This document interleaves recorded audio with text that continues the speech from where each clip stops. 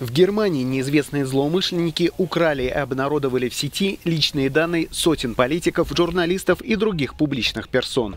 В том числе федерального канцлера Ангелы Меркель, хотя в пресс-службе правительства и говорят, что речь не идет о какой-либо конфиденциальной информации. Украденные данные были опубликованы в Твиттере еще в декабре, но правоохранительные органы признали факт утечки информации только 4 января. Произошло несколько десятков очень успешных атак на серверы, где хранятся личные данные и документы, в том числе копии удостоверений личности.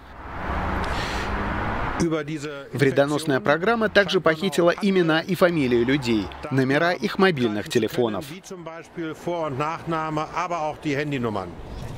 Кроме личных данных и документов, злоумышленники опубликовали переписку политиков в чатах и электронной почте. По данным МВД, утечка информации коснулась всех политических партий, кроме правой альтернативы для Германии. Нам обязательно нужно придумать то, как лучше отделять личные средства общения от официальных.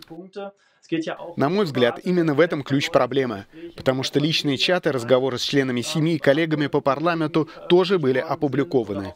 Было бы правильно отделить официальные каналы общения от личных.